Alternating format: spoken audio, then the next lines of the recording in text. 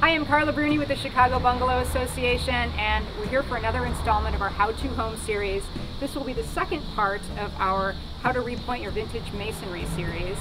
I'm back with Matt Wolf from Henry Frerks Sons and Matt Fugiel from Guernica Restoration and today we're going to be learning how to mix our mortar and how to repoint that wall finally.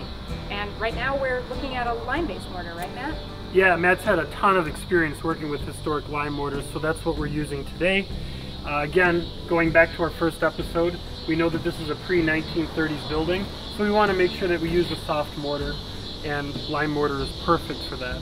So Matt's using a hydraulic lime mortar here. It's mixed with two and a half parts sharp mason sand. It's important when you have wide joints to have a very coarse aggregate. Typically the rule of thumb is the largest aggregate in the sand should be one third the width of the joint. So we're using a coarse aggregate. And he's also mixing this mortar with a little bit of pigment. It's a buff pigment, just enough to soften the brilliant white color of the natural lime. And our goal here is to make this lime resemble old weathered lime mortar so that our spot pointing blends in with the rest of the wall. It's important when you're adding pigment to pre-blend the pigment well with the dry mortar and the dry sand first before adding water otherwise you can get clumps of sand or clumps of lime and the pigment won't disperse evenly so that when you're pointing your wall you might get pigment streaks in the joints. So after we've thoroughly incorporated all the dry ingredients together we're going to slowly add the mix water to it. And this is a critical stage in mixing mortar. We have to get just the right amount of water in the mix. The mortar should have roughly the consistency of brown sugar. And you should be able to form it into a ball and toss the ball up a few times and see if it holds together. If the ball falls apart, you might need to add a little more water to it. If it holds together, you're probably okay. You don't want to have a lot of paste residue on your hand. If you have that, you might have added too much water to the mix. The consistency of this mortar passes the brown sugar test and the ball test, so I think we're ready to repoint our wall. Okay, and we are back at the wall that we ground out in the last episode. Looks like, Matt, you've already gotten started here. You can see in his left hand, he's got what they call a hawk that's holding the mortar. And in his right hand is the backfiller. Backfillers are the spatula of sorts that he uses to whip up the mortar from the hawk and place it in the mortar joints. Backfillers come in different widths based on the width of the joint that you're pointing. He's being careful to make sure that the new mortar is being packed well and there's no voids in the new mortar. And as he works towards the window opening, notice how he's filling those corners up, packing them tightly, making sure that he has a nice, sharp, crisp corner with the new mortar. That's important.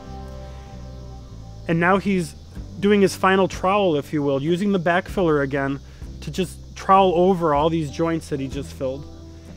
And if you notice, he's cutting the joints back just a little bit away from the face of the brick. He's doing that to make this new mortar joint look like a slightly weathered joint so it blends in with, with the rest of the wall. And he's going taking that a step further by using a short hair paintbrush and stippling the surface of the mortar to give it a rough texture. Now that Matt's done a wonderful job repointing this wall, we're going to move on to the curing process. All right, well, we're back at the wall. It looks, I'm sure, like it did in the 1920s. It looks beautiful. What do we do at this point to make sure it cures properly? Yeah, so all that moisture was introduced to the brickwork before Matt pointed it up with the new mortar. Now we want to make sure that moisture stays in the wall so this mortar has a long, slow curing process. So we're going to drape the burlap over the wall to shade it, and we're going to keep that burlap damp for seven days and let the mortar do its thing. Wonderful. Well, Matt from Henry Frerks, thank you again for another episode with us. Matt from Guernica Restoration, thank you so much for all the incredible work you did with us. And we'll see you guys next time for the next episode of our How To Home series.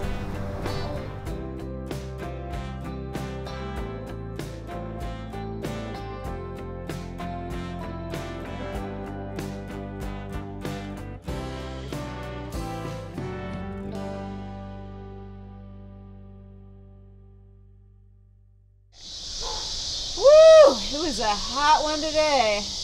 Haven't worked this hard in a long time. Cheers to another successful masonry series. Amen, sister.